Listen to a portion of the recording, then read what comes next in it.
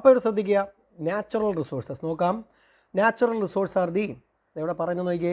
Natural resource are the source resources available in a nature like air water sunlight soil mineral forest wildlife etcetera പ്രകൃതിയിൽ നിന്നും നമുക്ക് ഡയറക്റ്റായിട്ട് കിട്ടുന്ന റിസോഴ്സുകളാണ് നമ്മൾ എന്ത് പറയുന്നത്?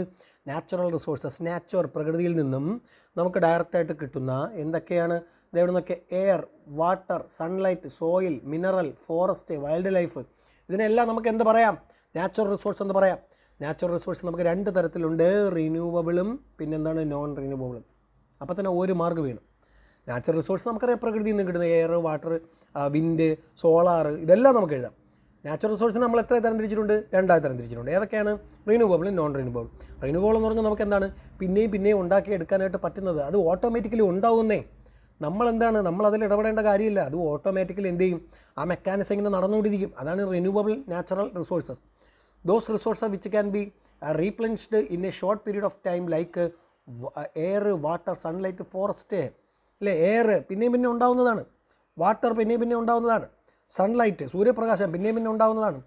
കാട് അല്ലേ നമ്മൾ എത്രയൊക്കെ പെട്ടെന്ന് നശിപ്പിച്ചാലും പല സ്ഥലങ്ങളിൽ എന്ത് ചെയ്യുന്നു? ഇപ്പം നമുക്കറിയാം നമ്മൾ ഉപയോഗിക്കാതിട്ടിരുന്ന പല സ്ഥലങ്ങളും എന്ത് ചെയ്യുന്നു? ആ ഫ്യൂച്ചറിൽ അത് എന്തായിട്ട് മാറും? കാടായിട്ട് എന്ത് ചെയ്യും? മാറും. അപ്പോൾ അതൊക്കെ റിന്യൂവബിൾ റിസോഴ്സാണ് നോൺ റിന്യൂവബിൾ റിസോഴ്സ് എന്ന് പറഞ്ഞാൽ എന്താണ്? അത് ഒരു ഡിഫൈനറ്റ് എമൗണ്ട് മാത്രമേ നമ്മുടെ പ്രകൃതിയിലുള്ളൂ. മനസ്സിലായില്ലേ? ഒരു ഡിഫൈനറ്റ് എമൗണ്ട് മാത്രമേ ഉള്ളൂ. അത് നമ്മൾ കൃത്യമായിട്ട് ഉപയോഗിക്കണം. അത് നമുക്ക് പിന്നെയും പിന്നെയും ഉണ്ടാക്കിയെടുക്കാനുള്ള സാധ്യത വളരെ വളരെ കുറവാണ്. Those resources which cannot be replenished in a short period time like mineral coal minerals coal petroleum natural gas metals etcetera ഇതൊക്കെ പ്രകൃതിയിൽ ഒരു ഒരു ഡിഫൈനറ്റ് എമൗണ്ടിൽ മാത്രമേ ഉള്ളൂ. നമുക്കിത് പിന്നെ ഉണ്ടാക്കിയെടുക്കാൻ വലിയ ബുദ്ധിമുട്ടാണെന്നേ. മനസ്സിലായില്ലേ? അപ്പോൾ അതുകൊണ്ട് എന്താണ് നമ്മൾ ഇതിനെ വളരെ എഫിഷ്യന്റായിട്ട് യൂസ് ചെയ്യണം. Okay type of natural resource ഞാൻ ഇവിടെ കൊടുത്തിട്ടുണ്ട്. ഫോറസ്റ്റ് റിസോഴ്സ് കൊടുത്തിട്ടുണ്ട്. വാട്ടർ കൊടുത്തിട്ടുണ്ട്. മിനറൽ കൊടുത്തിട്ടുണ്ട്. ഫുഡ് കൊടുത്തിട്ടുണ്ട്. ലാൻഡ് കൊടുത്തിട്ടുണ്ട്. എനർജി റിസോഴ്സ് കൊടുത്തിട്ടുണ്ട്. ഇതിൽ ഓരോ റിസോഴ്സും വളരെ വളരെ ഇമ്പോർട്ടന്റ് ആണ്. നിങ്ങളെല്ലാം ജസ്റ്റ് ഒന്ന് വായിച്ച് വെക്കണം. എന്താണ് വാട്ടർ റിസോഴ്സ് വാട്ടർ റിസോഴ്സിന്റെ ഇമ്പോർട്ടൻസ് മിനറൽ റിസോഴ്സ് എന്തൊക്കെയാണെന്ന് പഠിക്കണം. ഫുഡ് റിസോഴ്സസ് ലാൻഡ് റിസോഴ്സസ് അതെല്ലാം നിങ്ങൾ കൃത്യമായിട്ട് പഠിക്കണം. ഞാൻ ഏറ്റവും ഇമ്പോർട്ടന്റ് ആയിട്ടുള്ള ഫോറസ്റ്റ് മാത്രമാണ് ഇവിടെ ഉൾപ്പെടുത്തിയിട്ടുള്ളത്. ബാക്കി നിങ്ങൾ വായിച്ചിരിക്കണം. ഓക്കെ? Forest resource. നമുക്കറിയാമല്ലോ ഫോറസ്റ്റ് എന്ന് പറഞ്ഞാൽ എന്താണ്? അല്ല ഫോറസ്റ്റ് റിസോഴ്സ് എന്ന് പറഞ്ഞാൽ എന്താണ്? ഒരു ലാറ്റിൻ വേർഡ് ആയിട്ടുള്ള ഫോറിസ്റ്റ്. ദാറ്റ് മീൻസ് ഔട്ട്സൈഡ് എന്ന വാക്കിൽ നിന്നാണ് ഫോറസ്റ്റ് എന്ത് ചെയ്തിട്ടുള്ളത്? ഡിറൈവ് ചെയ്തിട്ടുള്ളത്. പിന്നെ അടുത്ത് എന്താണ്? ഒരു ഇമ്പോർട്ടന്റ് മോസ്റ്റ് ഇമ്പോർട്ടന്റ് നാച്ചുറൽ റിസോഴ്സാണ് ചുമ്മാ എഴുതാം. വളരെ സിമ്പിളായിട്ട് എഴുതാം. Forest resources is the most important natural resources എന്ന് പറഞ്ഞ് സിമ്പിളായിട്ട് എഴുതാം നമുക്ക്. ഇല്ലേ? പിന്നെ അടുത്ത് എന്താണ്? ആ ടോട്ടൽ ഏരിയയുടെ വൺ ബൈ ത്രീ എന്താണ്? എന്താണ് നമുക്ക് ഫോറസ്റ്റ് ആണെന്ന് എന്ത് ചെയ്യാം? പറയാം. Okay in India forest form twenty three percentage of total land area ഇന്ത്യയിൽ ഇരുപത്തി മൂന്ന് ശതമാനം ടോട്ടൽ ലാൻഡ് ഏരിയയിലെ അതായത് ടോട്ടൽ കരഭൂമിയിലെ ഇരുപത്തി മൂന്ന് ശതമാനവും എന്താണ്? ഫോറസ്റ്റാണ് കാടാണ്. ഞാൻ അവിടെ യൂസസ് പറയുന്നുണ്ട്. കാടിന്റെ യൂസസ് നോക്കിയേ ദേ പ്രൊവൈഡ് ടിമ്പർ കണ്ടോ? ടിമ്പർ മീൻസ് വലിയ തടി അല്ലേ? ഹൗസ് ബിൽഡിങ്ങിനൊക്കെ നമ്മൾ ഉപയോഗിക്കുന്ന തടി. അത് നമുക്ക് ഫോറസ്റ്റിൽ നിന്നാണ് കിട്ടിക്കൊണ്ടിരിക്കുന്നത്. പിന്നെ അടുത്ത് എന്താ പറയുന്നത് ദേ സപ്ലൈ ഫയർ വുഡ് നോക്കിയേ തീ കത്താൻ തീ കത്തിക്കാൻ പണ്ട് ആളുകൾ ഡിപ്പെൻഡ് ചെയ്തിരുന്ന ഈ ഉണക്ക ചുള്ളികളൊക്കെ ഇല്ലേ അത് നമ്മൾ കാട്ടിൽ നിന്നാണ് എടുത്തുകൊണ്ടിരുന്നത്. പിന്നെ വുഡിന്റെ പൾപ്പ് ഉപയോഗിച്ചാണ് നമ്മൾ പേപ്പർ ഉണ്ടാക്കുന്നത്. ഹണി തേൻ പിന്നെ അതുപോലെ തന്നെ പല പല ആയുർവേദ മെഡിസിൻസ് ഇതെല്ലാം നമുക്ക് കാട്ടിൽ നിന്നാണ് കിട്ടിക്കൊണ്ടിരുന്നത്. പിന്നെ wax for candles medicine shoe making അത് നമുക്കെല്ലാം എഴുതാവുന്നതാണ്. പിന്നെ അതുപോലെ തന്നെ ഇവിടെ പറയുന്നുണ്ട് ബാസ്ക്കറ്റ് പറയുന്നുണ്ട് മാറ്റ്സ് ചെയർ റോപ്പ് ഇതെല്ലാം എന്ത് ചെയ്യുന്നുണ്ട് ഇവിടെ പറയുന്നുണ്ട് അംബ്രലയുടെ stick umbrella handles umbrella handles ഒക്കെ തടി കൊണ്ട് ഉണ്ടാക്കിയതാണ് പണ്ടൊക്കെ ഇപ്പോഴാണത് കമ്പിയൊക്കെ ആയത്. ഓക്കെ അപ്പോൾ ഇതൊക്കെ യൂസസ് ആണ്. കുറേ കാര്യങ്ങൾ നിങ്ങൾക്ക് ഇവിടെ ഫോറസ്റ്റിന്റെ യൂസസ് ഒരുപാട് കാര്യങ്ങൾ. നമ്മളെ ക്ലൈമറ്റിനെ ബാലൻസ് ചെയ്ത് നിർത്തുന്നത് ഫോറസ്റ്റാണ് കൃത്യമായിട്ട് മഴ പെയ്യിപ്പിക്കുന്നത് ഫോറസ്റ്റാണ് ഒരുപാട് കാര്യങ്ങൾ നിങ്ങൾക്ക് എന്ത് ചെയ്യാൻ പറ്റും? ഇതിൽ ഉൾപ്പെടുത്തി എഴുതാനായിട്ട് പറ്റും. പിന്നെ അതാ ഇവിടെ പറയുന്നുണ്ട് റെയിൻ കൃത്യമായിട്ട് നടത്തുക ഇല്ലേ നോക്കിയ കൃത്യമായിട്ടുള്ള റെയിൻഫോൾ പിന്നെ പ്രകൃതിയിലെ മോയ്സ്ചർ കണ്ടന്റ് ഇൻക്രീസ് ചെയ്യിപ്പിക്കുന്നത് എന്താണ്? ഫോറസ്റ്റാണ് ക്ലൈമറ്റ് ഒരേപോലെ ആക്കുന്നത് ഇക്വേബിൾ ആ ക്ലൈമറ്റ് കണ്ടീഷൻ ഒരേപോലെ ആക്കുന്നത് ഫോറസ്റ്റാണ് പിന്നെ അടുത്ത് എന്താ എന്താ പറയുന്നത്? സോയിൽ ഇറോഷൻ ഇല്ലേ? എന്താണ്? നമ്മുടെ മണ്ണൊലിപ്പ് തടയുന്നത് ഫോറസ്റ്റാണ് ഈ ഫ്ലഡൊക്കെ ഉണ്ടായാലേ ഈ വെള്ളങ്ങൾ വെള്ളം ഒരുപാട് അബ്സോർബ് ചെയ്യുന്നത് ഫോറസ്റ്റാണ് കാരണം നമുക്കിപ്പം ഒരു കാട് ഏരിയ ആണെങ്കിൽ ഇപ്പോൾ അവിടെ എന്താണ് ഒരു വലിയൊരു ഫ്ലഡ് ഉണ്ടായാൽ നമുക്ക് പിടിച്ചു നിൽക്കാനായിട്ട് പറ്റും. പക്ഷേ ഒരു ലാൻഡ് ഏരിയയിൽ നമുക്ക് ഫ്ലഡ് ഉണ്ടായാൽ നമുക്ക് പിടിച്ചു നിൽക്കാനായിട്ട് പറ്റത്തില്ല. അപ്പോൾ ഇതെല്ലാം ഫോറസ്റ്റിന്റെ ആണ്. നിങ്ങൾക്ക് ആവശ്യമുള്ള കാര്യങ്ങൾ മാത്രം എഴുതുക. വളരെ ഇമ്പോർട്ടന്റ് ടോപ്പിക്കാണ് വളരെ ഇമ്പോർട്ടന്റ് ആയിട്ടുള്ള ടോപ്പിക്കാണ് ബയോളജിക്കൽ ഡൈവേഴ്സിറ്റി എന്താണ് ബയോളജിക്കൽ ഡൈവേഴ്സിറ്റി ഓക്കെ സാറിന് എത്ര പഠിച്ചാലും അല്ലെങ്കിൽ പഠിച്ചെഴുതാൻ ഒട്ടും താല്പര്യമില്ലാത്ത പിള്ളേർ ധൈര്യമായിട്ട് ബിറ്റ് വെച്ചോ. ഉറപ്പായിട്ടും വരാൻ സാധ്യതയുള്ള ക്വസ്റ്റ്യനാണ് ബയോളജിക്കൽ ഡൈവേഴ്സിറ്റി ഓക്കെ എന്താണ് ബയോളജിക്കൽ ഡൈവേഴ്സിറ്റി ബയോളജിക്കൽ ഡൈവേഴ്സിറ്റി എന്ന് പറഞ്ഞാൽ ജൈവ വൈവിധ്യമാണ് അല്ലേ? നമുക്ക് പലതരത്തിലുള്ള സ്പീഷ്യസ് പലതരത്തിലുള്ള അനിമൽസ് പലതരത്തിലുള്ള പക്ഷികൾ ഇതെല്ലാം നമുക്ക് കാണാനായിട്ട് പറ്റും ബിക്കോസ് ഓഫ് ബയോഡൈവേഴ്സിറ്റിയാണ് പ്രകൃതിയിൽ ജൈവ വൈവിധ്യങ്ങൾ ഉണ്ട്. ഇവിടെ പറയുന്നത് നോക്കിയേ. Biological diversity or biodiversity is a term we use to describe the variety of life of life on earth അല്ലേ ഇവിടെ നോക്കിയേ വെറൈറ്റി കണ്ടോ? പല തരത്തിലുള്ള വൈവിധ്യമാർന്ന എന്താണ്? കുറേ എലമെന്റ്സ് നമ്മുടെ എർത്തിലുണ്ട് അതാണ് ബയോളജിക്കൽ ഡൈവേഴ്സിറ്റി അല്ലെങ്കിൽ ബയോഡൈവേഴ്സിറ്റി എന്ന് പറയുന്നത്. It refers the wide variety of ecosystem and living organism animal plant their habitats and their genius നോക്കിയോ ഇവിടെ പറയുന്നത് നോക്കിയേ അനിമൽസ് പ്ലാന്റ് ഹാബിറ്റാറ്റ് അവരുടെ ആവാസം ഇല്ലേ? ഇതെല്ലാം പലതരത്തിലുള്ള അനിമൽസിനെയും പ്ലാന്റ്സിനെയും അവരുടെ ആവാസങ്ങളെയും കുറിച്ച് നമ്മൾ പഠിക്കുന്നതാണ് ഏത്? ബയോളജിക്കൽ ഡൈവേഴ്സിറ്റി എന്ന് പറയുന്നത്. കമ്പോണൻസ് ഓഫ് ബയോഡൈവേഴ്സിറ്റി മൂന്ന് തരത്തിലുണ്ട്. ഒന്ന് genetic genetic diversity genetic diversity എന്ന് പറഞ്ഞാൽ എന്താണ്? വിത്തിൻ പോപ്പുലേഷൻ ഓർ സ്പീഷ്യസ് ഒരു സ്പീഷ്യസിനകത്ത് സംഭവിക്കുന്ന വൈവിധ്യങ്ങൾ. രണ്ട് species diversity number of species within area ഇപ്പം കേരളത്തിനകത്തുള്ള അല്ലെങ്കിൽ ഇന്ത്യയ്ക്ക് അകത്തുള്ള എന്താണ്? ഇന്ത്യക്കകത്തുള്ള പക്ഷികളുടെ വൈവിധ്യങ്ങൾ. അതാണ് ഏത്? സ്പീഷ്യസ് ഡൈവേഴ്സിറ്റി എന്ന് പറയുന്നത്. എക്കോസിസ്റ്റം എന്ന് പറഞ്ഞാൽ എന്താണ്? Variation among ecosystem communities landscape okay പല എക്കോസിസ്റ്റത്തിൽ ഉണ്ടാകുന്ന വൈവിധ്യങ്ങൾ. ഇപ്പോൾ ഒരു കുളത്തിലെ വൈവിധ്യമല്ല ഒരു തോടിലെ ആവാസവ്യവസ്ഥ. കുളത്തിൽ കാണപ്പെടുന്ന ആവാസവസ്ഥയും ഒരു ഒഴുകുന്ന തോടിൽ കാണുന്ന ആവാസവസ്ഥയും ആണ്. കടലിലെ ആവാസവ്യവസ്ഥ മറ്റൊരു ഫാക്ടറാണ് അപ്പോൾ ഇങ്ങനെ പല ഡൈവേഴ്സിറ്റി പല വൈവിധ്യങ്ങളുണ്ട്. ഇതെല്ലാം നമ്മൾ പ്രൊട്ടക്റ്റ് ചെയ്യണം. ഈ ജൈവ വൈവിധ്യങ്ങൾ നമ്മൾ മാത്രം കണ്ടാൽ പോരാ. നമ്മൾ നമ്മുടെ വരുന്ന തലമുറയ്ക്ക് അല്ലെങ്കിൽ നമ്മുടെ കുട്ടികൾക്കൊക്കെ കൈമാറാനായിട്ട് നമുക്ക് പറ്റണം. മനസ്സിലായില്ലേ? അപ്പോൾ അതാണ് ബയോളജിക്കൽ ഡൈവേഴ്സിറ്റി എന്നുകൊണ്ട് ഉദ്ദേശിക്കുന്നത്. വൈവിധ്യമാണ്. അത് പ്രൊട്ടക്റ്റ് ചെയ്യാൻ നമുക്ക് പറ്റണം. ത്രെഡ്സ് ഓഫ് ബയോഡൈവേഴ്സിറ്റി നമ്മൾ അടുത്ത് പഠിക്കുന്നത് ത്രെഡ്സ് ഓഫ് ബയോഡൈവേഴ്സിറ്റി എന്താണ് ബയോഡൈവേഴ്സിറ്റിയുടെ ത്രെഡ്സ് നിങ്ങൾ നോക്കിയേ ഒരുപാട് ഭീഷണികളുണ്ടെന്നേ ബയോഡൈവേഴ്സിറ്റിക്ക്. ഒന്ന് ഹാബിറ്റാറ്റ് അവരുടെ വാസസ്ഥലങ്ങൾ നമ്മൾ ഇടിച്ചില്ലാതാക്കുന്നു. അല്ലേ? നമ്മൾ നമ്മുടെ അച്ഛനും അമ്മയൊക്കെ കണ്ടു വന്ന ഒരുപാട് എന്താണ് നമ്മുടെ ജീവജാലങ്ങളൊന്നും ഇന്ന് നമുക്ക് കാണാനായിട്ട് പറ്റുന്നില്ല. അല്ലെങ്കിൽ ചില പക്ഷികളൊന്നും നമ്മുടെ നമുക്കിന്ന് കാണാനായിട്ട് പറ്റില്ല. കാരണം ഹാബിറ്റാറ്റ് ഡിസ്ട്രക്ഷനാണ് രണ്ട് ഗ്ലോബൽ ക്ലൈമറ്റ് ചേഞ്ച് ക്ലൈമറ്റിലുണ്ടാകുന്ന വ്യത്യാസം. അല്ലേ? ക്ലൈമറ്റ് എല്ലാവർക്കും അല്ലെങ്കിൽ ഇപ്പം നമ്മുടെ മനുഷ്യന്റെ ഓവർ എക്സ്പ്ലോയിറ്റേഷൻ കാരണം ക്ലൈമറ്റിലൊക്കെ ഒരുപാട് മാറ്റം വന്നിട്ടുണ്ട്. പ്രകൃതിയുടെ ബാലൻസ് ഒക്കെ തകർന്നിട്ടുണ്ട്. അപ്പോൾ അത് കാരണം കുറേ സ്പീഷ്യസ് നമ്മുടെ സമൂഹത്തിൽ നിന്ന് ഇല്ലാതായി. പിന്നെ ഹാബിറ്റാറ്റ് ഫ്രാഗ്മെന്റേഷൻ അല്ലേ ആവാസവ്യവസ്ഥയിൽ ഉണ്ടാകുന്ന മാറ്റങ്ങൾ. പിന്നെന്താണ്? പൊല്യൂഷൻ എന്താണ് പൊല്യൂഷൻ പിന്നെ അടുത്ത് എന്താണ് ആ പൊല്യൂഷൻ മലിനീകരണം അല്ലേ ഹണ്ടിങ് ബേർഡ്സ് ആൻഡ് അനിമൽസ് നമ്മൾ എന്ത് ചെയ്യുന്നു? ആ ബേർഡ്സ് അനിമൽസ് ഇതിനെയൊക്കെ നമ്മൾ ഹണ്ട് ചെയ്യുന്നു അല്ലേ ഡീഫോറസ്റ്റേഷൻ കാടില്ലാതാകുന്നു ഇൻഡസ്ട്രിയലൈസേഷൻ വ്യവസായവൽക്കരണം ഓവർ എക്സ്പ്ലോയിറ്റേഷൻ പിന്നെന്താണ്? ആ സ്പീഷ്യസിന്റെ ഡിസീസസ്.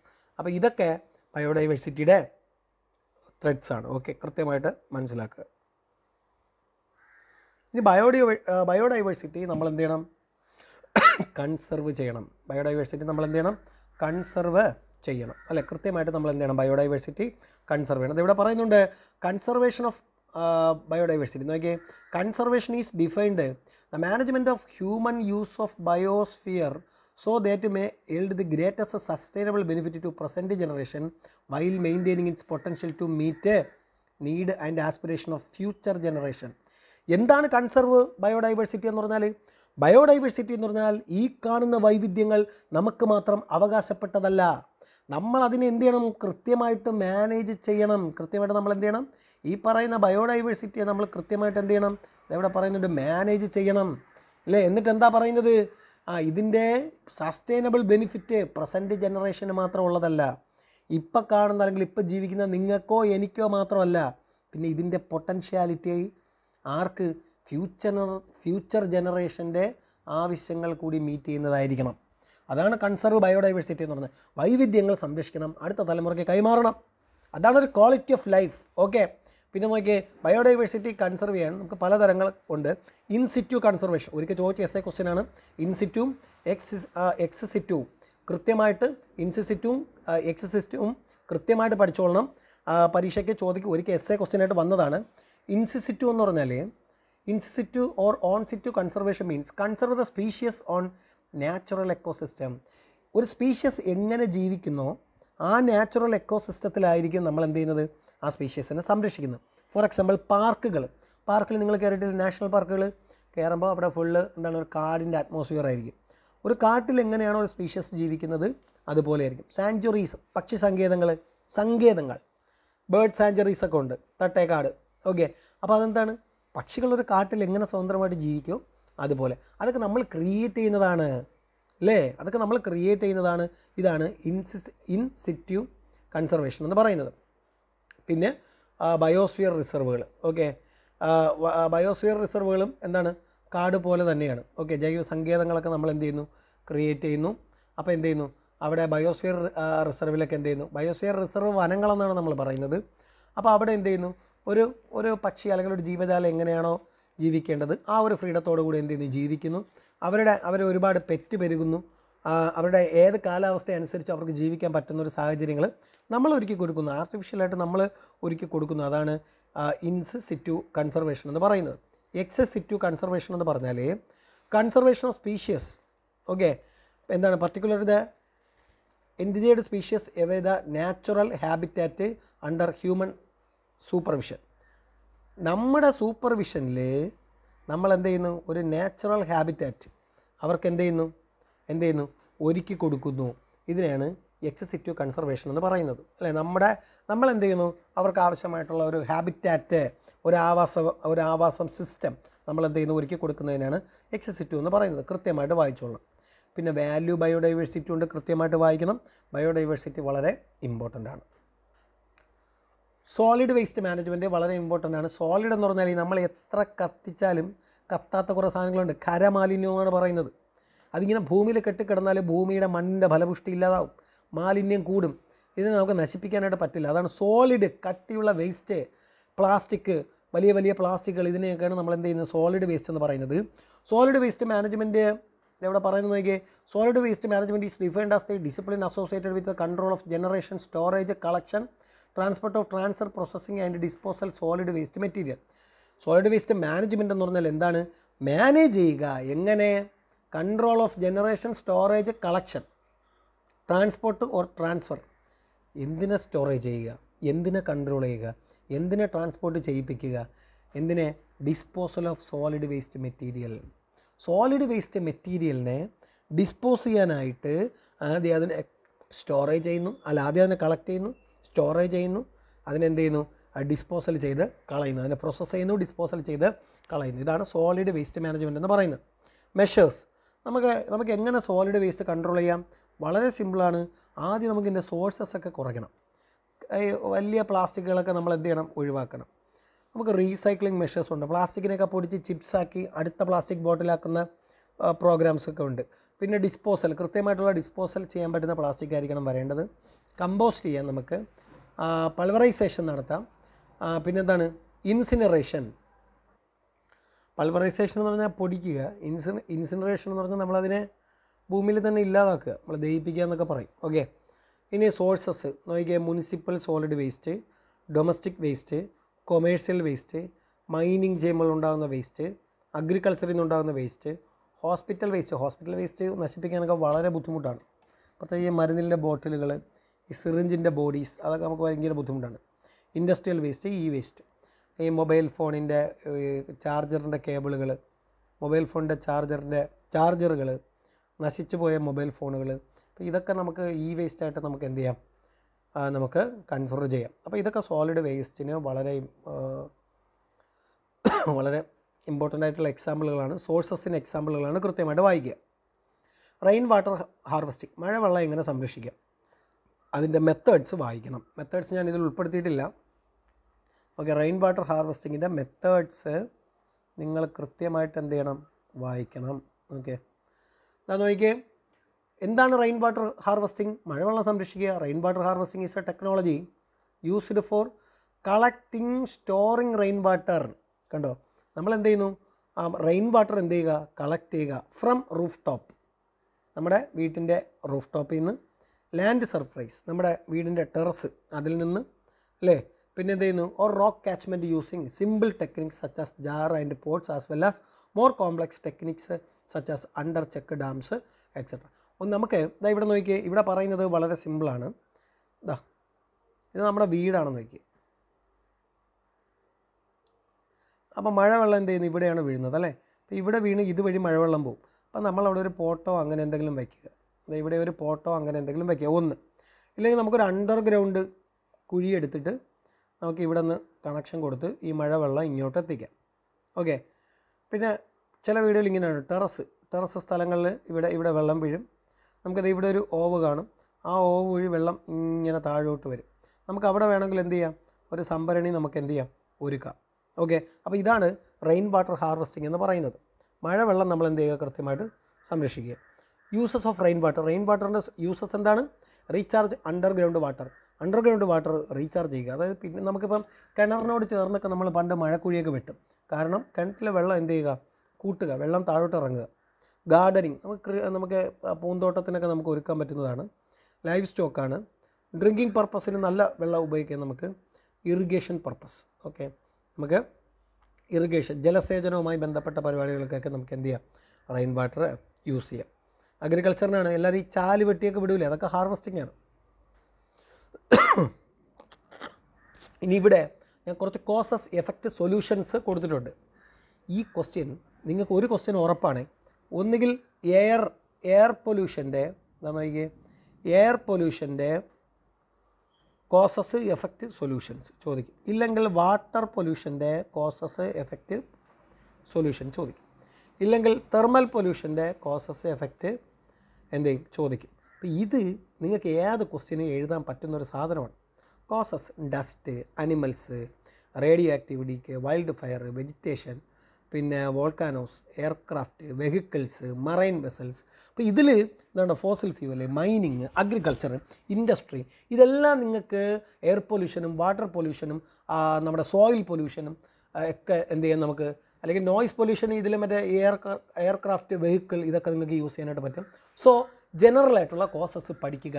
എല്ലാം കൂടി പഠിക്കില്ലേ ഒരു അഞ്ച് ക്വസ്റ്റ്യൻ ആൻസറാണ് ഈ ടേബിൾ ഇനി അതിന്റെ എഫക്റ്റ് ചോദിക്കുന്നതാണ് ഇത് ഇവിടെ പറയുന്നുണ്ട്. മോർട്ടാലിറ്റി ശിശുമരണം പിന്നെന്താണ്? കാർഡിയോ വാസ്കുലർ ഡിസീസസ് ഉണ്ടാവും ലങ് ഡിസീസ് ഉണ്ടാവും ക്യാൻസർ ഉണ്ടാവും ആസിഡ് റെയിൻ ഗ്ലോബൽ വാർമിംഗ് ഇതെല്ലാം നിങ്ങൾക്ക് ഇവിടെ എഴുതാൻ പറ്റും. Depletion of ozone layer ozone ലെയറിൽ ഡിപ്ലഷൻ സംഭവിക്കും. എഫക്റ്റ് ഇത് എല്ലാത്തിന്റെ ഡിഫക്റ്റ് ഒന്നു തന്നെന്നേ എയർ പൊല്യൂഷന്റെയും വാട്ടർ പൊല്യൂഷന്റെത് ഓസോൺ ഡിപ്ലഷൻ ഒന്നും നമുക്ക് എഴുതാനായിട്ട് പറ്റത്തില്ല. അപ്പോൾ അങ്ങനെയുള്ള കാര്യങ്ങളൊക്കെ മാറ്റി ബാക്കിയുള്ളത്. ലങ് ഡിസീസൊക്കെ നമുക്ക് എഴുതാൻ പറ്റും. ക്യാൻസർ നമുക്ക് എഴുതാൻ പറ്റും. കാർഡിയോ വാസ്കുലർ ഡിസീസ് നമുക്ക് എഴുതാൻ പറ്റും. അപ്പോൾ അങ്ങനെ കുറേ കാര്യങ്ങളൊക്കെ നമുക്ക് എന്ത് ചെയ്യാൻ പറ്റും? ഇതിൽ എഴുതാനായിട്ട് പറ്റും. തെർമൽ പൊല്യൂഷൻ എഴുതുക. പിന്നെ നോയ്സ് പൊല്യൂഷൻ അതെല്ലാം നമുക്ക് എന്ത് ചെയ്യാൻ പറ്റും? ഇവിടെ എഴുതാനായിട്ട് പറ്റും. സൊല്യൂഷൻ സൊല്യൂഷൻ തണ്ട എനർജി കൺസംഷൻ ബിഹേവിയറിൽ മാറ്റം വരുത്തുക. Reduce material consumption avoid use of car bike അതിന്റെയൊക്കെ എമിറ്റൻസ് ഓഫ് എയർ ആണ് ഒരുപാട് പ്രശ്നം ഉണ്ടാക്കുന്നത്. റീയൂസ് ആൻഡ് റീസൈക്കിൾ പിന്നെ biodigesters use energy efficient devices convince others മറ്റുള്ളവരെ പറഞ്ഞ് മനസ്സിലാക്കുക. ഓക്കെ അപ്പോൾ അതൊരു നല്ലൊരു ക്വസ്റ്റ്യൻ ആണ്. നിങ്ങൾ അതിന്റെ കോസസും എഫക്റ്റും എല്ലാം കൃത്യമായിട്ട് പഠിച്ചു വെച്ചിരിക്കുക. ഏത് ക്വസ്റ്റ്യൻ വന്നാലും നിങ്ങൾക്ക് സിമ്പിളായിട്ട് അത് എടുത്ത് അടിക്കാനായിട്ട് പറ്റും. ആസിഡ് ട്രെയിൻ ആസിഡ് ട്രെയിൻ എന്ന് പറഞ്ഞാൽ എന്താണ്? ആസിഡ് ട്രെയിൻ ചോദിക്കുക പരീക്ഷയ്ക്ക് ചോദിക്കാൻ പറ്റും. ഈ എൻവയോൺമെന്റൽ അല്ലെങ്കിൽ എൻവയോൺമെന്റിന്റെ ബാരിയർ അല്ലെങ്കിൽ എൻവയോൺമെന്റ് ഫേസ് ചെയ്യുന്ന ഇഷ്യൂസ് ഇതെല്ലാം നിങ്ങൾക്ക് എഴുതാം. ഈ പറയുന്ന എയർ പൊല്യൂഷൻ വാട്ടർ പൊല്യൂഷനൊക്കെ എഴുതാം.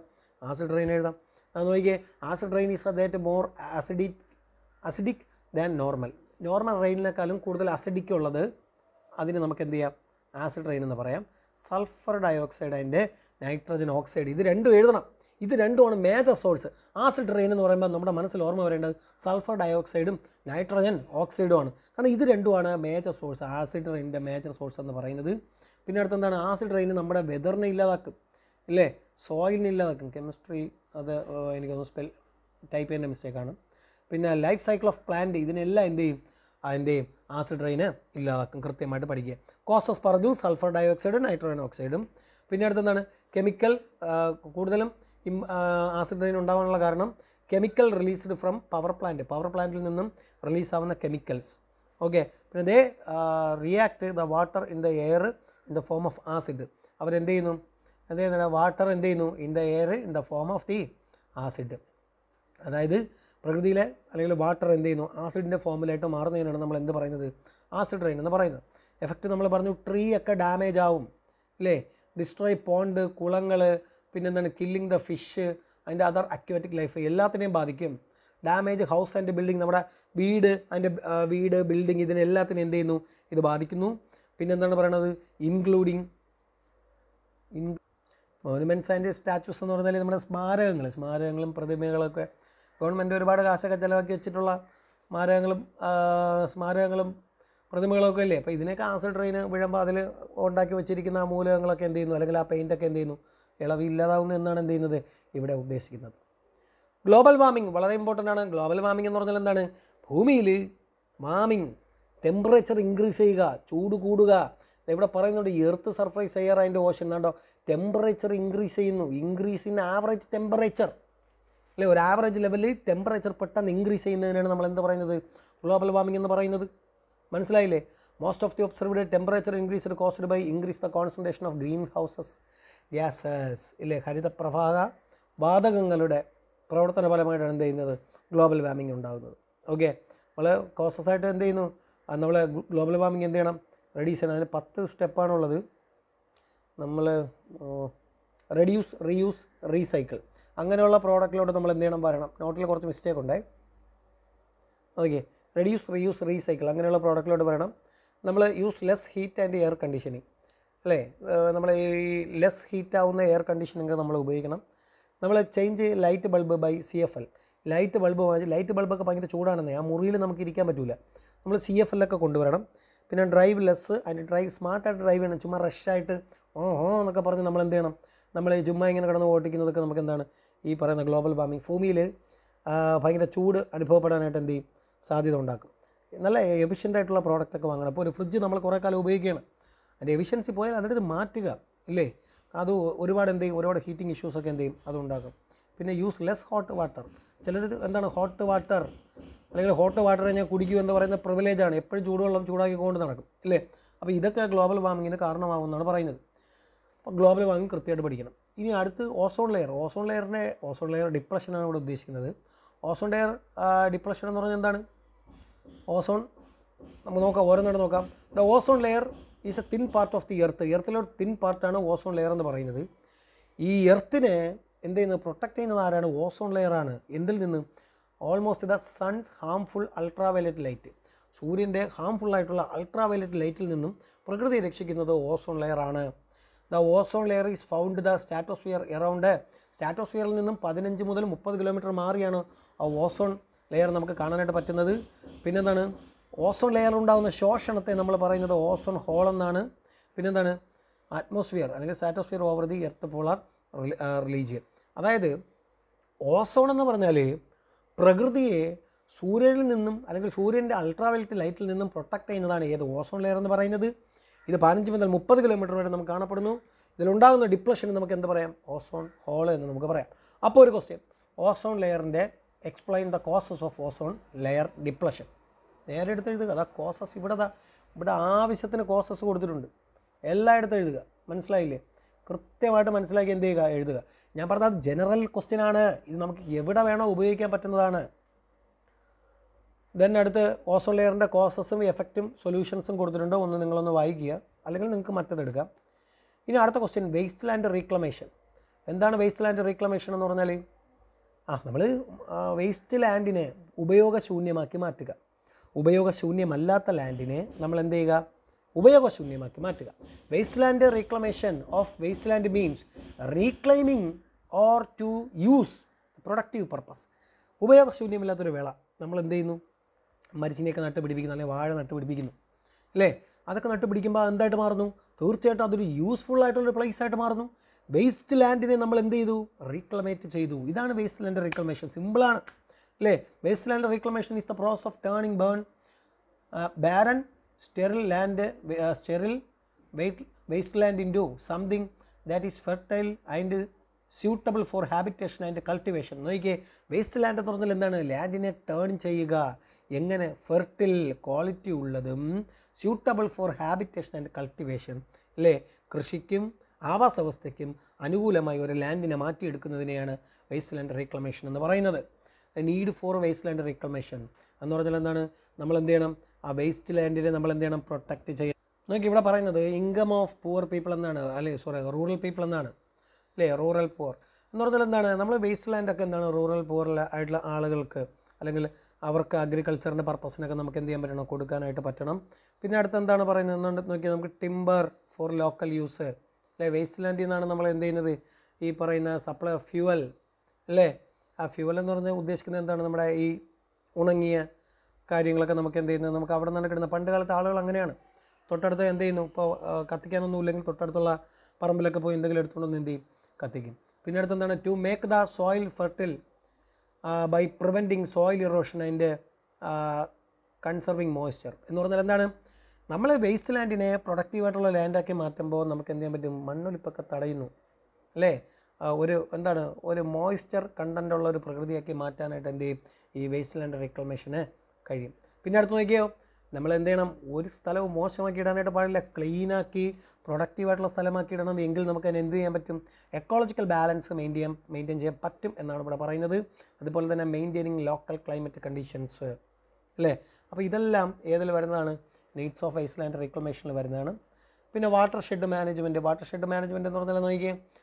Watershed management employs the wise use of soil and water resources within with given a geographical area so that to enable sustainable production and minimize flood watershed management is the rational utilization of land water resource optimum production with minimum hazard of natural resources രണ്ടാമത്തെ point എടുക്കുക ഇത് രണ്ടാമത്തെ പോയിന്റാണ് water shed management എന്ന് പറഞ്ഞാൽ എന്താണ് വളരെ സിമ്പിളാണ് നോക്കിയേ സോയിൽ ഒരു പർട്ടിക്കുലർ ഏരിയയിലുള്ള ഒരു ജിയോഗ്രഫിക്കൽ ഏരിയയിലുള്ള അല്ലേ സോയിൽ ആൻഡ് വാട്ടർ അല്ലേ മണ്ണ് alle അതുമായി ബന്ധപ്പെട്ട ജലം ഇതൊക്കെ നമ്മൾ എന്ത് ചെയ്യുക പ്രൊട്ടക്റ്റ് ചെയ്യുക കൃത്യമായിട്ട് മാനേജ് ചെയ്യുക.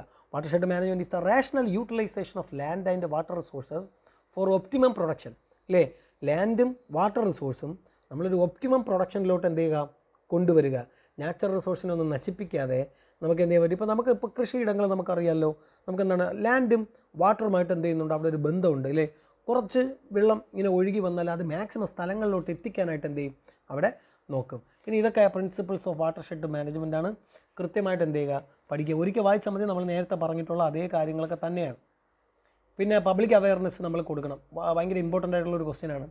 എൻവയോൺമെന്റ് സ്റ്റഡീസും പബ്ലിക് അവയർനെസ് ഓക്കെ എൻവയോൺമെന്റ് ഒന്ന് നമുക്ക് എന്താണ്? എൻവയോൺമെന്റൽ പ്രകൃതിയെ നമ്മൾ എങ്ങനെ സംരക്ഷിക്കണം? അതിനെക്കുറിച്ചൊരു എൻവയോൺമെന്റൽ എഡ്യൂക്കേഷൻ ആളുകൾക്ക് കൊടുക്കണം.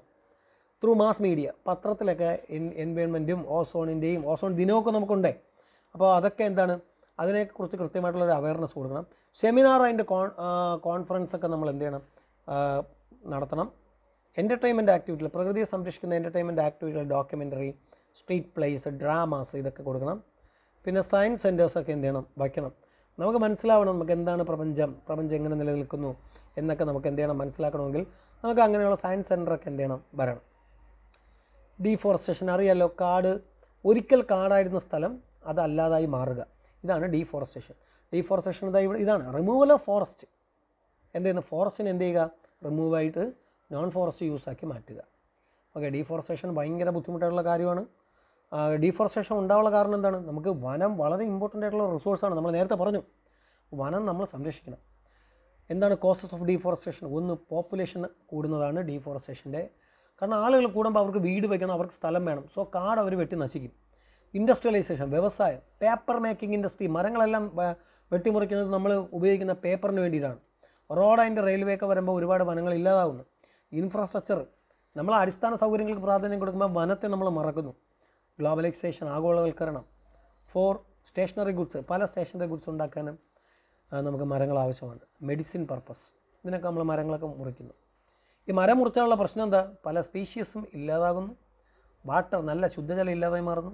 പല റിസോഴ്സും ഇല്ലാതായി മാറുന്നു മണ്ണൊലിപ്പുണ്ടാകുന്നു ലൈഫിന്റെ ക്വാളിറ്റിയെ ബാധിക്കുന്നു ഗ്രീൻ ഹൗസ് ഗ്യാസസ് ഇല്ലേ ഹരിത പ്രവാഹം ഇല്ലേ അതുണ്ടാകുന്നു water in the atmosphere okay വാട്ടറിന്റെ കണ്ടന്റൊക്കെ എന്ത് ചെയ്യുന്നു? കുറയുന്നു ഓസോൺ ലെയർ ഡാമേജ് ആവുന്നു കൃത്യമായിട്ട് പഠിക്കുക. ഇനി അടുത്ത് പഠിക്കുന്നത് എക്കോളജി എക്കോളജി എന്ന് പറഞ്ഞാൽ രണ്ട് മാർക്കിന്റെ ഒക്കെ ക്വസ്റ്റ്യൻ ആണ്. എന്താണ് ecology scientific study of interaction between ഓർഗാനിസവും എൻവയോൺമെന്റും ഓർഗാനിസവും എൻവയോൺമെന്റും തമ്മിലുള്ള ഒരു സയന്റിഫിക് സ്റ്റഡീനെയാണ് നമ്മൾ എന്ത് പറയുന്നത്? എക്കോളജി എന്ന് പറയുന്നത്. എന്താണ് എക്കോളജിക്കൽ സക്സഷൻ ഇപ്പം ഞാൻ എന്റെ വീട്ടിലിരുന്നാണ് എന്ത് ചെയ്യുന്നത്? ഞാൻ ഈ ക്ലാസ് എടുക്കുന്നത് അല്ലേ? വർഷങ്ങൾക്ക് മുമ്പ് എന്റെ വീട് ഒരു കുളമായിരുന്നു എന്ന് വിചാരിക്കുക. കുളം ഒരു വലിയൊരു കുളമായിരുന്നു. ആ കുളത്തിൽ ആളുകൾ മാലിന്യങ്ങളൊക്കെ കൊണ്ടിട്ട് കൊണ്ടിട്ട് അതൊരു ലാൻഡ് ഏരിയയായി ഇപ്പോൾ അതൊരു വീടായി എന്ന് വിചാരിക്കുക. ഇതാണ് എക്കോളജിക്കൽ സക്സഷൻ അല്ലേ? കാലങ്ങൾ മാറും തോറും പ്രകൃതിക്കുണ്ടാകുന്ന മാറ്റം ഒരിക്കൽ എന്തായിരുന്നു ഇപ്പം എന്താണ്? നോക്കിയേ the observed process to change in the species structure of ecological community over a period of time ഒരു പർട്ടിക്കുലർ പീരീഡ് ഓഫ് ടൈമിൽ ഒരു ജിയോഗ്രഫിക്കൽ ഏരിയയ്ക്ക് അല്ലെങ്കിൽ ഒരു സ്പീഷ്യസിന് ഉണ്ടാകുന്ന മാറ്റത്തെ നമുക്ക് എന്ത് പറയാം? എക്കോളജിക്കൽ സക്സഷൻ എന്ന് പറയാം. പിന്നെ എന്താണ് എക്കോളജിക്കൽ പിരമിഡ് എക്കോളജിക്കൽ പിരമിഡ് എന്ന് പറഞ്ഞാൽ എന്താണ്? ഗ്രാഫിക്കൽ റെപ്രസെന്റേഷൻ ആണ്. ഓർഗാനിസം അതിന്റെ എനർജി റിലേഷൻഷിപ്പും പിന്നെ അതിന്റെ ബയോമാസും തമ്മിലുള്ള ഒരു എക്കോളജിക്കൽ പിരമിഡിന് അല്ലെങ്കിൽ ഒരു ഗ്രാഫിക്കൽ റെപ്രസെന്റേഷൻ നമുക്ക് എന്ത് പറയാം? എക്കോളജിക്കൽ പിരമിഡ് എന്ന് പറയാം. പിന്നെ layers of atmosphere layers of atmosphere എന്ന് ക്വസ്റ്റ്യൻ വരും. ഇല്ലെങ്കിൽ രണ്ട് മാർക്കിന്റെ ക്വസ്റ്റ്യൻ ചോദിക്കും. സ്റ്റാറ്റോസ്ഫിയർ സ്റ്റാറ്റോസ്ഫിയർ എന്ന് പറഞ്ഞാൽ എന്താണ്? അറ്റ്മോസ്ഫിയറിന്റെ സെക്കൻഡ് ലെയറാണ് അല്ലേ? അപ്പോൾ ഏറ്റവും ഫസ്റ്റ് ലെയർ ട്രോപ്പോസ്ഫിയർ ആണ്. ഇത് അമ്പത് കിലോമീറ്റർ ആണ്. ഭൂമിയിൽ നിന്ന് അമ്പത് കിലോമീറ്റർ ആണ്. Strato means layer or spread out ozone layer കാണപ്പെടുന്നത് സ്റ്റാറ്റോസ്ഫിയറിലാണ് കൃത്യമായിട്ട് പഠിക്കുക. ട്രോപ്പോസ്ഫിയർ ലോവസ്റ്റ് ലെയർ ആണ്. ട്രോപ്പോസ്ഫിയർ കഴിഞ്ഞിട്ട് അടുത്ത് വരുന്നതാണ് സ്റ്റാറ്റോസ്ഫിയർ ട്രോപ്പോസ്ഫിയറിനും സ്റ്റാറ്റോസ്ഫിയറിനും ഇടയിലുള്ള സ്ഥലത്തിന് നമുക്ക് ട്രോപ്പോ പാസ് എന്ന് പറയും. Okay exosphere ex e ex exist പുറത്ത്. എക്സോസ്ഫിയർ എന്ന് പറഞ്ഞാൽ ഔട്ടറാണ് ഓക്കെ പിന്നെന്താണ്? ഇത് നാനൂറ് കിലോമീറ്ററാണ് എന്ത് ചെയ്യുന്നത് എർത്തുമായിട്ട് വരുന്നത്. പിന്നെ സ്പേസ് ഷട്ടിൽ സാറ്റലൈറ്റ് ഓർബിറ്റ് നമ്മുടെ ഈ ഭ്രമണപഥങ്ങൾ. നമ്മുടെ ഉപഗ്രഹങ്ങളൊക്കെ വിക്ഷേപിക്കുന്ന ഭ്രമണപഥങ്ങളൊക്കെ എവിടെയാണ്?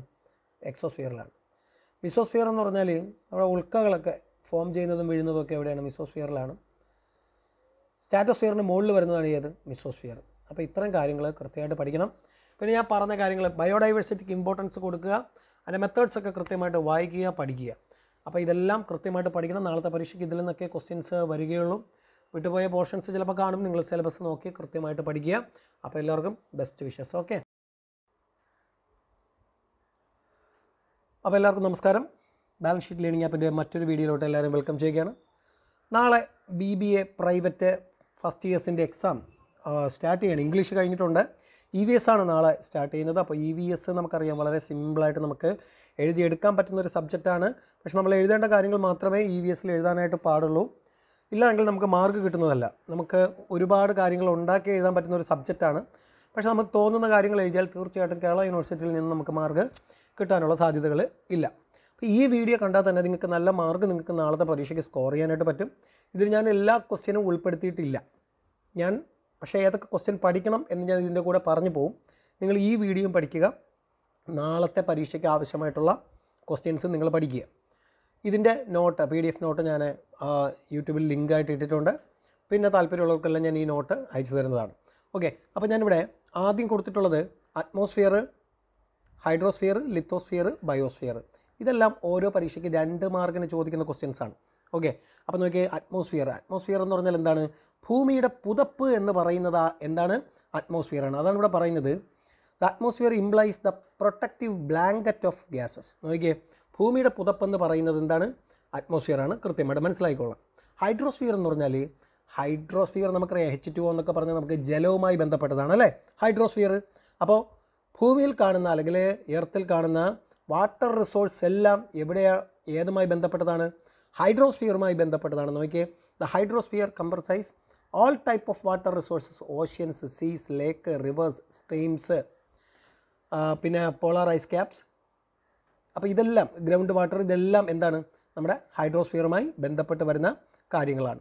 നോക്കിയേ ഇവിടെ നോക്കിയേ ഹൈഡ്രോസ്ഫിയർ എന്ന് പറഞ്ഞാൽ ഞാൻ പറഞ്ഞാണ് എന്താണ്? ജലവുമായി ബന്ധപ്പെട്ടതാണ്.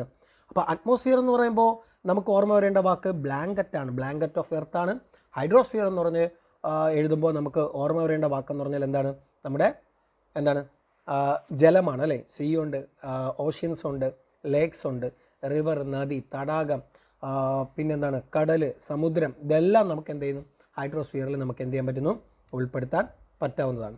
ലിത്തോസ്ഫിയർ എന്ന് പറഞ്ഞാൽ കല്ല് ഏറ്റവും നമ്മൾ കട്ടിയുള്ള കല്ലുകൾ മലകൾ കുന്നുകൾ ഇതൊക്കെയാണ് എന്ത് ചെയ്യുന്നത്? ലിത്തോസ്ഫിയറുമായി ബന്ധപ്പെട്ട് വരുന്നത്. Lithosphere is the outer mantle. Lithosphere എന്ന് പറഞ്ഞാൽ എന്താണ്? ഒരു ഔട്ടർ മാൻഡിലാണ് എന്താണ് of the solid earth solid എന്ന് പറഞ്ഞാൽ ദൃഢമായത്. കല്ല് അങ്ങനെയൊക്കെയുള്ള കാര്യങ്ങളാണ് ഏതിൽ വരുന്നത്? ലിത്തോസ്ഫിയറിൽ വരുന്നത്. കൃത്യമായിട്ട് മനസ്സിലാക്കിക്കോളാം ബയോസ്ഫിയർ എന്ന് പറഞ്ഞാൽ എന്താണ്? ബയോസ്ഫിയർ ബയോസ്ഫിയറിലാണ് ജീവന്റെ കണിക എന്ത് ചെയ്യുന്നത്? കാണപ്പെടുന്നത്. ഇത് നോക്കിയേ ബയോസ്ഫിയർ ഇൻഡിക്കേറ്റ് ദ ഞാൻ ബെട്ടാണ് ഇൻഡിക്കേറ്റ് ദ ഞാനിത് മാറ്റിയാണ് കേട്ടോ. Living organism and their interaction with environment എൻവയോൺമെന്റിലെ living ഓർഗാനിസവും അതും അല്ലെങ്കിൽ ലിവിങ് ഓർഗാനിസങ്ങളും ബാക്കി അത് ആ ലിവിങ് ഓർഗാനിസങ്ങൾ തമ്മിലുള്ള ഇന്ററാക്ഷനെയാണ് നമ്മൾ എന്ത് പറയുന്നത്?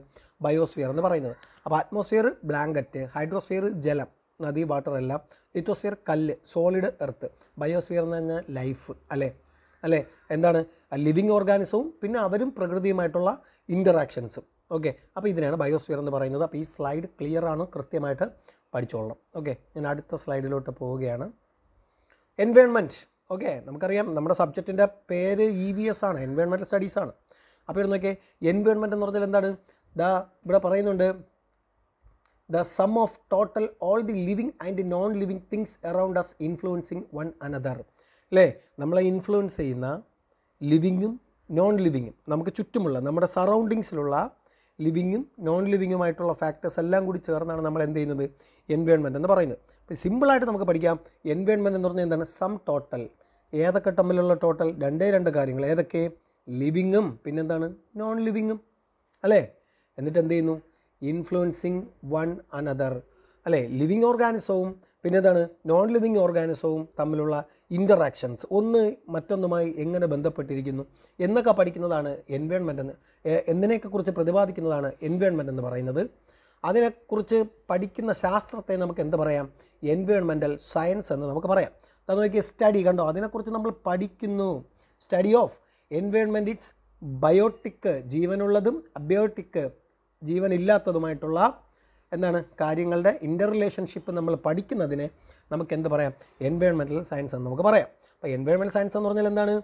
ലിവിങ് ഓർഗാനിസവും നോൺ ലിവിങ് ഓർഗാനിസവും തമ്മിലുള്ള ഇന്ററാക്ഷനെ കുറിച്ച് പഠിക്കുന്നതിനെ എൻവയോൺമെന്റൽ സയൻസ് എന്ന് നമുക്ക് എന്ത് ചെയ്യാം? വളരെ സിമ്പിളായിട്ട് നമുക്ക് എന്ത് ചെയ്യാം? പറയാം. ഓക്കെ അപ്പോൾ ക്ലിയർ ആയിട്ട് മനസ്സിലാക്കുക. ഇനി ഇമ്പോർട്ടൻസ് ഓഫ് എൻവയോൺമെന്റൽ സ്റ്റഡീസ് എൻവയോൺമെന്റൽ സ്റ്റഡീസിന്റെ ഇമ്പോർട്ടൻസ് എന്തൊക്കെയാണെന്ന് നോക്കുക. ഒന്നാമത്തത് ഇത് ഇവിടെ പറയുന്നുണ്ട് clarify modern എൻവയോൺമെന്റൽ concept like how to conserve biodiversity ഞാനിവിടെ പറയുന്നത് കൺസർവ് ബയോഡൈവേഴ്സിറ്റി ആ പോയിന്റ് ഓർത്തിരിക്കുക. നമ്മുടെ ജൈവ വൈവിധ്യങ്ങളെ എന്ത് ചെയ്യണം? സംരക്ഷിക്കണം എന്നതാണ് എൻവയോൺമെന്റൽ സ്റ്റഡീസിന്റെ ഒന്നാമത്തെ ഇമ്പോർട്ടന്റ് പോയിന്റ് നാളെ എഴുതിക്കൊള്ളാം എൻവയോൺമെന്റൽ സ്റ്റഡീസിന്റെ important point number one conserve biodiversity number two എന്താണ്? നമുക്കൊരു സുസ്ഥിരമായിട്ടുള്ളൊരു ജീവിതം വേണ്ടേ? സസ്റ്റൈനബിൾ വേ ഓഫ് ലിവിങ് അതാണ് രണ്ടാമത്തെ പോയിന്റ് അല്ലേ? എൻവയോൺമെന്റിലെ റിസോഴ്സുകൾ നമ്മൾ എന്ത് ചെയ്യണം? വളരെ കാര്യക്ഷമമായിട്ട് നമ്മൾ എന്ത് ചെയ്യണം? ഉപയോഗിക്കണം. അതാണ് ഇവിടെ പറയുന്നത് natural resources more efficiently okay പിന്നെ അടുത്ത് എന്താണ് പറയുന്നത്? ഓരോ ഓർഗാനിസത്തിന്റെയും ബിഹേവിയർ നമ്മൾ മനസ്സിലാക്കണം. ബിഹേവിയർ ഓഫ് ഓർഗാനിസം നമുക്കറിയാം മഴ സമയത്ത് കൃഷികൾ നല്ല രീതിയിൽ വളരും. അല്ലേ? കാരണം എന്താ? ജലം ഭൂമിയിലോട്ട് പതിക്കുന്നു. ആ മണ്ണിൽ ജലത്തിന്റെ ഈർപ്പമുണ്ടാകുന്നു അത് സസ്യങ്ങൾക്ക് ഒരുപാട് ഗുണകരമാകുന്നു. കണ്ടോ? ജലവും മണ്ണും തമ്മിലുള്ള ബന്ധം. മണ്ണും സസ്യവും തമ്മിലുള്ള ബന്ധം. അല്ലേ? അപ്പോൾ ഇത് ഈ ഇന്ററാക്ഷനൊക്കെ അറിഞ്ഞാലേ നമുക്ക് എന്ത് ചെയ്യാൻ പറ്റുള്ളൂ? കൃഷിയൊക്കെ കൃത്യസമയത്ത് നമുക്ക് ചെയ്യാനായിട്ട് പറ്റുള്ളൂ. പിന്നെ അടുത്ത് എന്താ പറയുന്നത് now the interrelationship between organism ഇല്ലേ? ഭൂമിയിലെ ഓരോ ഓർഗാനിസവും അവ തമ്മിലുള്ള റിലേഷൻഷിപ്പ് നമുക്ക് എന്ത് ചെയ്യാൻ പറ്റും? ഇവിടെ അറിയാനായിട്ട് പറ്റും. ആളുകൾ നമ്മൾ എന്ത് ചെയ്യണം? എഡ്യൂക്കേറ്റ് ചെയ്യണം. To aware and educate regarding എൻവയോൺമെന്റൽ issues ഇത് ഏഴാത്ത പോയിന്റ് അല്ല. ഒരുമിച്ചുള്ള പോയിന്റാണ് എൻവയോൺമെന്റൽ ഇഷ്യൂസിനെ കുറിച്ച് നമ്മൾ എന്ത് ചെയ്യണം? ലോക്കൽ നാഷണൽ ഇന്റർനാഷണൽ ലെവലിൽ എന്ത് ചെയ്യണം? നമുക്ക് പറഞ്ഞു കൊടുക്കാനായിട്ട് പറ്റണം. ആളുകൾക്ക് അതിനെക്കുറിച്ചുള്ള അവബോധം കൊടുക്കണം. ഇല്ലേ? എൻവയോൺമെന്റിനെ പ്രൊട്ടക്റ്റ് ചെയ്യേണ്ട ആവശ്യകതയെക്കുറിച്ച് ആളുകൾക്ക് പറഞ്ഞ് മനസ്സിലാക്കാനായിട്ട് നമുക്ക് കഴിയണം. അപ്പോൾ ഇതൊക്കെയാണ് എൻവയോൺമെന്റൽ സയൻസിന്റെ ഇമ്പോർട്ടൻസ് എന്ന് പറയുന്നത്. ക്ലിയർ ആയിട്ട് എഴുതിക്കൊള്ളണം. ഇനി അതായത് നമുക്ക് എൻവയോൺമെന്റ് സ്റ്റഡീസിനെ കുറിച്ച് എന്ത് ക്വസ്റ്റ്യൻ ചോദിച്ചാലും നിങ്ങൾ ഈ എൻവയോൺമെന്റിന്റെ മീനിങ് എഴുതുക. എൻവയോൺമെന്റൽ സയൻസ് എന്താണെന്ന് എഴുതുക ഇതിന്റെ ഇമ്പോർട്ടൻസ് എഴുതുക. അതിനുശേഷം നിങ്ങൾ ക്വസ്റ്റ്യനിലോട്ട് വരാവുന്നതാണ്. ചിലപ്പം ചോദിക്കും a prepare a seminar report on എൻവയോൺമെന്റൽ studies and importance scope scope എന്ന് പറഞ്ഞാൽ എല്ലാം എഴുതിക്കൊള്ളണം.